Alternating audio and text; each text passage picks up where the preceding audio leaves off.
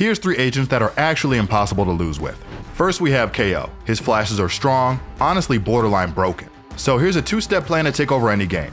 Step 1. Wait around the corner or in a smoke until you hear a noise. Step 2. Do the classic right-click strategy. Free RR every single time. Still not convinced? Just look at this clip. Here, Adder absolutely demolishes Stewie 2K and his team. And remember, that guy won a major. Haters will claim no important utility was used. The next busted hero is Cypher. This agent is so broken that there's literally players getting a Radiant using only the Judge. Some might argue that that says more about the weapon, but come on, you can quite literally watch TikTok while on a cam and get 90% value. Lastly, we have Neon. I didn't plan on adding her to the list initially, but then I remember she's literally impossible to hit as long as your movement is good.